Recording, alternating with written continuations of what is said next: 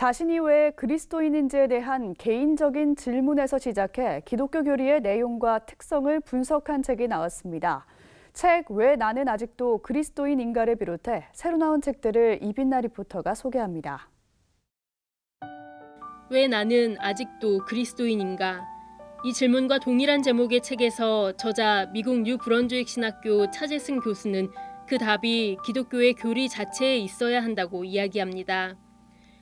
우리는 다른 종교에는 없는 기독교의 진리가 지닌 매력으로 인해 그리스도인이어야 하고 그렇기 때문에 기독교의 교리와 신학을 바로 알아야 한다는 것입니다.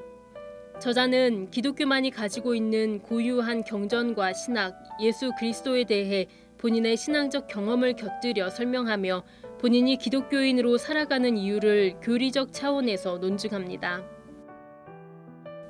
신학교 교수이자 목회자로 25년간 사역해온 류호준 목사가 현직에서 물러나며 그간 한국 교회에 대해 고민했던 내용을 적어 책으로 펴냈습니다.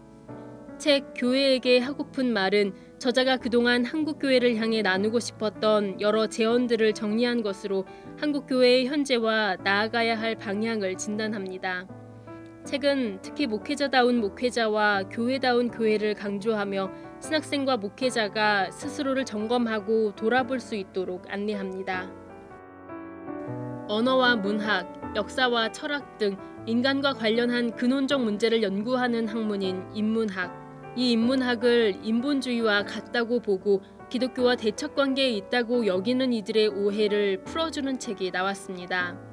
책 그리스도인에게 왜 인문학이 필요한가의 저자 연세대 김형석 명예교수는 인문학의 목표는 더 많은 사람의 인간다운 삶에 기여하는 것이라고 설명하며 인간의 근원과 존재 목적, 삶의 방향을 밝히는 기독교는 인문학의 근간이 된다고 이야기합니다.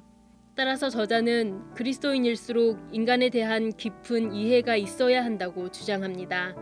책은 인문학이 어떤 학문인지, 인간은 어떤 존재인지에 대해 철학적 관점에서 살피고 기독교에 대한 인문학적 성찰과 진리의 문제에 대해 다룹니다.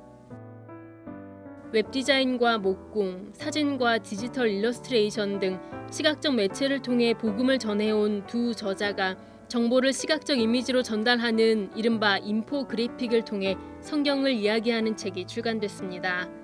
책 한눈으로 보는 비주얼 성경 읽기는 인포그래픽을 통해 성경의 핵심 주제와 개념들을 입체적으로 파악하도록 도와줍니다.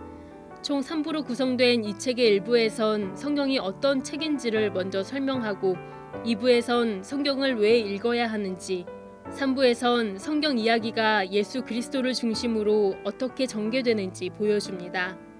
CBS 뉴스 이빈나입니다.